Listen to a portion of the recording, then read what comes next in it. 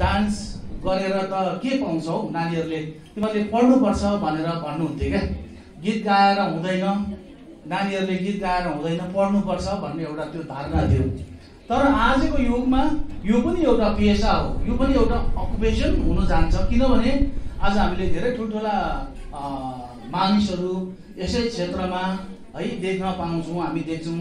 र उहाँहरूले आज उहाँहरूको एउटा प्रोग्रामको मात्रै पच एक करोड दुई करोडसम्म पाउने उहाँहरूले एउटा प्रोग्राममा पाउनुहुन्छ भन्ने कुराहरू मैले सुन्दै थिएँ। किनभने म त्यो गीत त गाउनु जान्दिनँ गीत पनि गाउनु जान्दिनँ है। र के अरे डान्स पनि जान्दिनँ। तर मैले म चाहिँ एकदम यो गीत र डान्स अब यो जति पनि नृत्यहरू छ यो एकदम मलाई मनपर्छ। विशेष गरी मलाई एकदमै नेपाली गीतको नेपाली गीतमा डान्स जस्तै अब डान्स फर्महरू कतिवटा हुन्छ त्यो पनि मलाई याद छैन।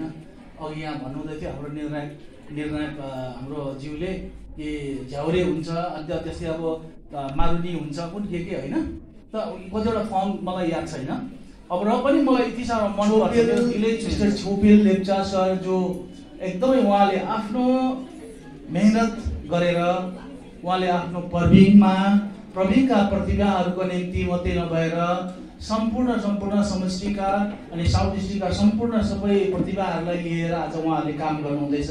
यो ठुलो एउटा बेडा हो। यो ठुलो एउटा जिम्मेवारी हो। उहाँ सामाजिक काम गर्ने मान्छे आज बिरलै पाइन्छ। र यसरी हाम्रा प्रतिभाहरू मसिना नानीहरूलाई यसरी खोजी खोजी ल्याएर यहाँ प्रस्तुति दिन लगाउनु है। उहाँले भोलि ठुलो मञ्च पाउनु पाउने एउटा सम्भावना हुन्छ।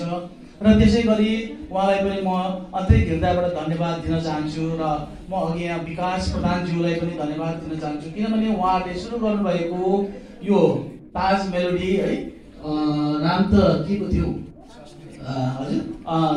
र जे भए पनि है तपाईँहरूले गर्नुभएको यो एकदमै यो उत्कृष्ट उत्कृष्ट यो प्रोग्रामलाई म नमन गर्दै अनि आजको निर्णायक मण्डली उहाँहरूलाई पनि म आजको एकदमै निर्णायक मण्डलीलाई राम्रो निर्णय दिनुहोस् भन्दै उहाँहरूलाई पनि म नमन गर्दै र दुई चार शब्द राख्न चाहन्छु। विशेष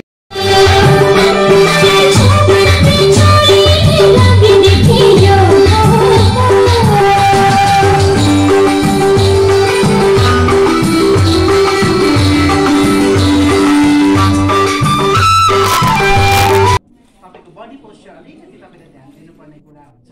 अल ओभर सबै थ्याङ्क यू चलेछ सुस्तारी मनै सरर भरोसा छैन जीवनको बिताउ हाँसेर चलेछ बाता सुस्तारी मनै सरर भरोसा छैन जीवनको बिताउ हाँसेर काहीँ रमाइलो हुन्छ।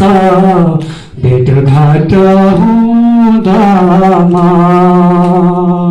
छातीको ज्वाला नमेर्दो रहेछ बसेर रुँदामा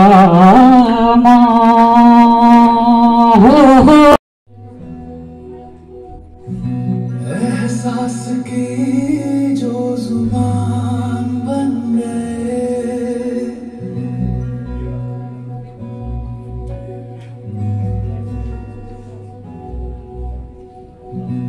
एहसास की जो ज़ुबान बन गए।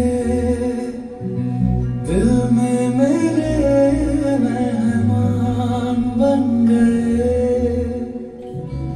आपकी